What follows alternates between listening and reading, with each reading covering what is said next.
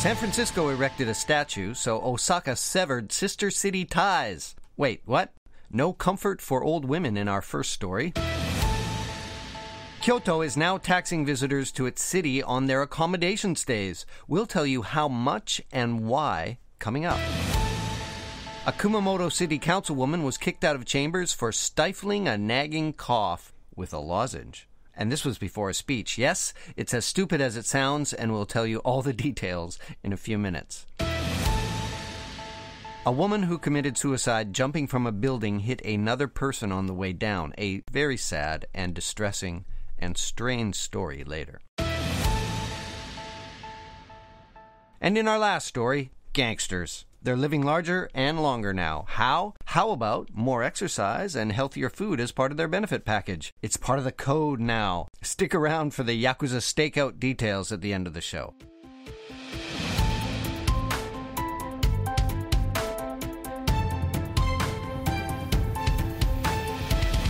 Hi, and welcome to Japan This Week. A quick recap of stories we're following on the Japan Today website for the week ending October 5th, 2018.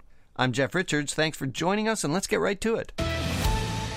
Okay, our first story is nothing if not contentious. It's a sensitive subject, especially if you're Japanese. Osaka Mayor Hirofumi Yoshimura this week sent a letter to his counterpart in San Francisco. He announced that he's ending a six decade sister city relationship with them to protest a statue honoring women forced to serve as sex workers for Japanese soldiers during World War II. The women are euphemistically referred to as comfort women. The statue was put up on city property last year by California's Korean, Chinese, and Filipino communities. A spokesman for San Francisco Mayor London Breed called Yoshimura's decision unfortunate and says the cities will remain connected through people to people ties. I think that's great. Lillian Sing, co chair of the Comfort Women Justice Coalition, said breaking the relationship over a memorial is outrageous and absurd. She said it shows how afraid the Osaka mayor and the Japanese prime minister are about truth and are trying to deny history. Historians say tens of thousands of women around Asia were sent to work in Japanese military brothels during the war. Japan apologized in 1993, but the issue has remained an open rift with its neighbors, particularly South Korea, which has strong memories of Japan's colonization from 1910 to 1945. After a gradual pullback from the apology, Japan's government actually now denies that the women were forced into sexual slavery, citing a lack of official documentary proof. As expected, Japan Today readers had plenty to say on the subject. Toshihiro says, Oh, come on, Japan, wake up and smell the matcha. No matter how much you convince yourselves that the comfort women never existed for lack of concrete evidence, you can't deny what really happened. Seriously, Come clean, admit it, and accept it. War is never pretty, and people do horrible things to the other. It'll be a ton of weight off the Japanese's shoulders. Well, I, I sort of agree with that, but more importantly, well, not more importantly, but also, matcha is a Japanese powdered green tea, the type that they used in traditional tea ceremonies, and uh, quite high in caffeine, I suspect, from that comment. Tokyo Inger adds, I do not think San Francisco really cares. Furthermore, I do not think San Francisco will ever ask Japan to remove the Peace Park and large exhibition in Hiroshima either. As a matter of fact, most San Franciscans, count me as one, think the Hiroshima Memorial and Peace Park should always exist so that people may be reminded and hopefully never commit this type of bombing again. I feel the same about the Comfort Women statues. Now, we also dug in for uh, views on the other side of the aisle. Um, Dwight Ryder says, As an American, I'm glad that the mayor of Osaka took the action that he did. The issue of comfort women is not an issue that seriously confronts the U.S. San Francisco had no business in erecting a statue in their memory. If Japan, Korea, the Philippines, Taiwan, and others impacted by the issue of comfort women during the war were to erect such a monument, so be it. San Francisco's action in erecting such a monument was crude, naive, and disingenuous, a common trait among Americans these days. Well, a very divisive subject, both the comfort women and the statues erected to memorialize them. What are your thoughts? Visit us at japantoday.com and let us know. Kyoto. This is where the shamisen music comes in. Japan's ancient capital and a very popular tourist destination these days.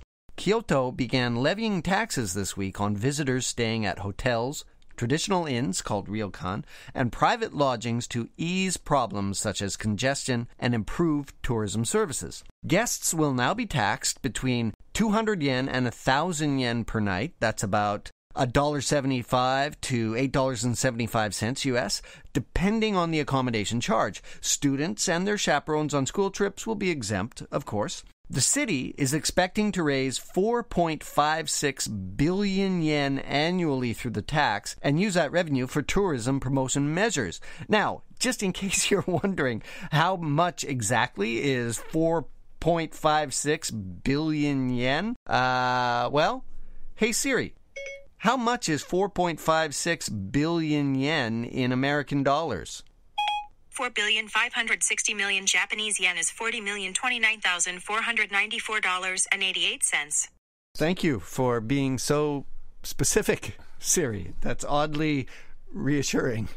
Kyoto faces a chronic shortage of lodging facilities and illegal private lodgings, aka Airbnb, according to the Japanese government, uh, you heard that from me, have been filling the vacuum. In 2017, just over 15 million people visited the city.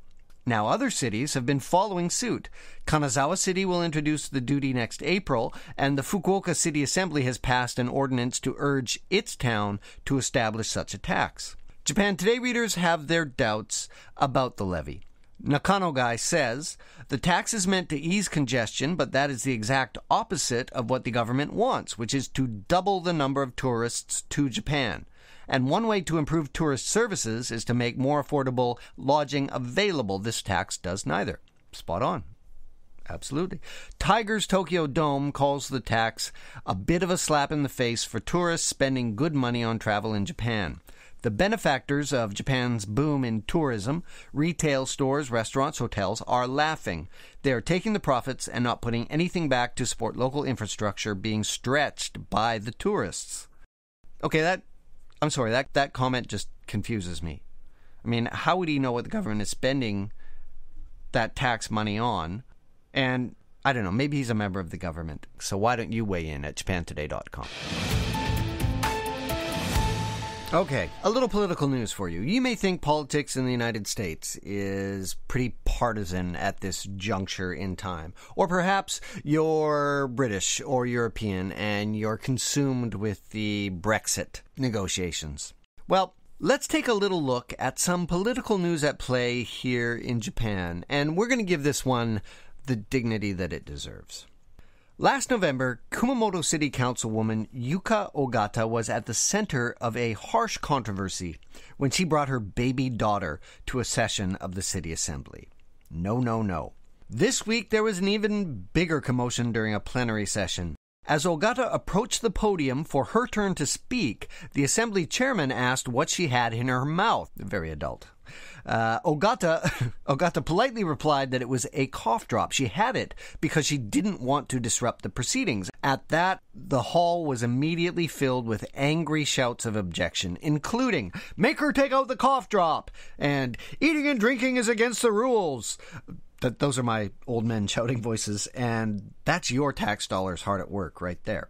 Ogata says she had been experiencing a cough for the past few days, so she decided to pop in a cough drop for the meeting. She probably didn't want to disrupt the proceedings and also didn't want to wake up those sleeping old assemblymen. But rules say members can't eat or drink anything during a session, so scheduled proceedings were suspended while a disciplinary committee meeting was convened.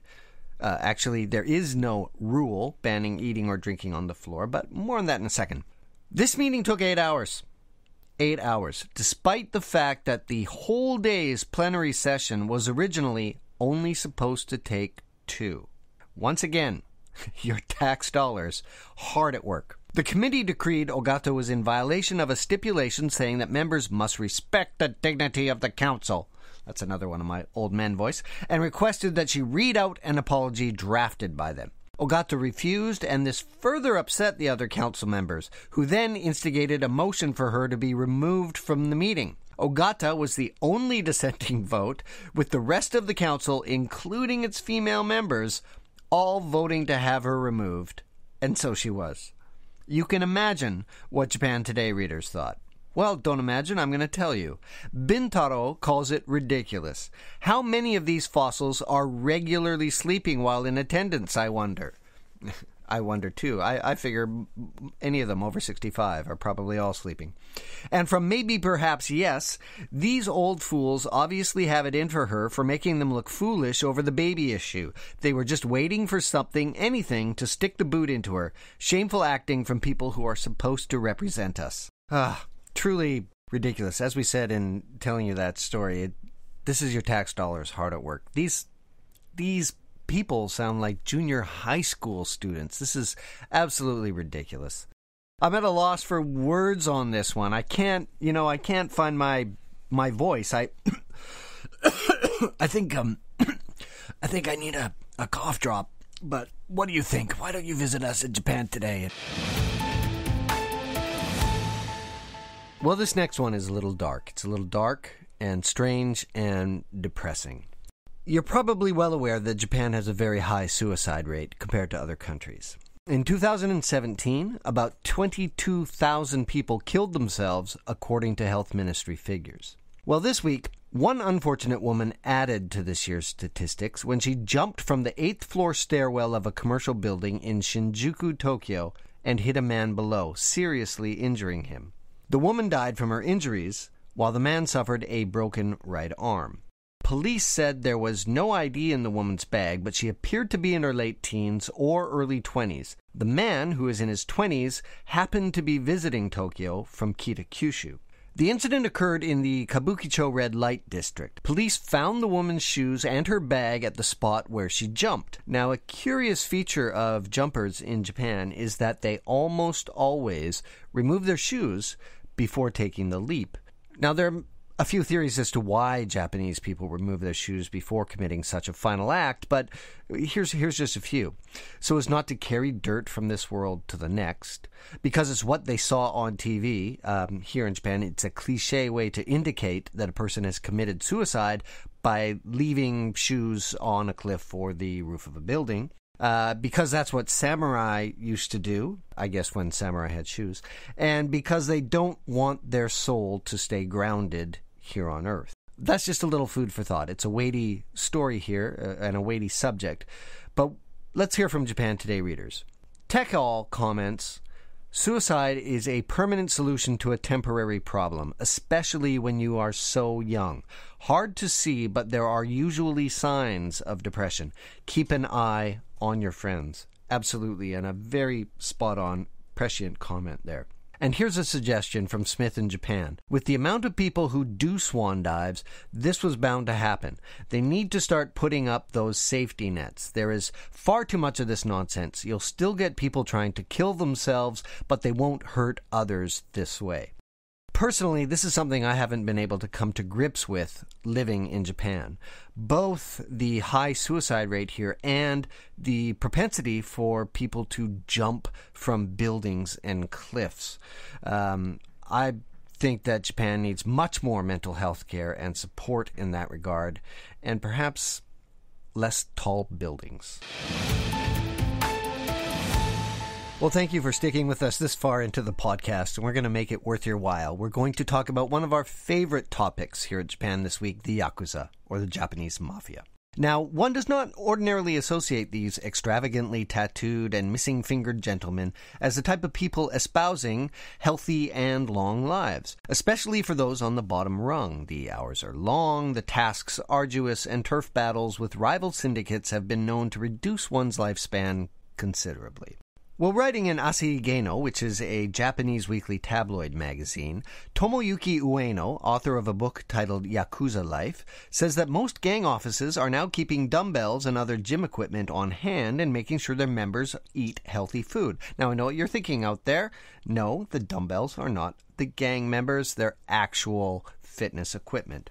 The dumbbells could have practical uses, of course, such as breaking bones or keeping the chimpira, those are the muscle or the lower level gangsters, strong enough to do so. The story also says bosses are known to be real gourmands. Some rank and file gang members are trained as full on cooks so they can prepare healthy dishes using the freshest vegetables possible for their leaders. Asahi Geino points out that the bosses don't have to do nasty things anymore and they can just sit there and let the money roll in, which makes for a longer and healthier life.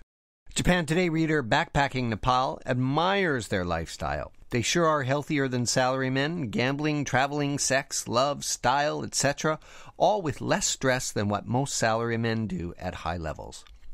NCIS Reruns is a bit dubious about the story. Surely full body tattoos and severing digits can't be conducive to health. Hepatitis used to be common as well. Oddly specific comment there, NCIS reruns, but yes, I, I kind of concur with you. Um, just a note if you're if the missing fingers thing is a little over your head. Uh, here in Japan, Japanese gangsters often cut off their fingers and gift them to a boss to show fealty after making a mistake. I guess that's pretty easy to tell who the dumbbells are. I need to cue a, a rim shot there. And it's sounding a little like something out of the end of Goodfellas when they're cooking those wonderful meals in prison. But uh, I'm not, I don't have a criminal record. Just so I just want to get that off. If you have some inside information, let us know at japantoday.com.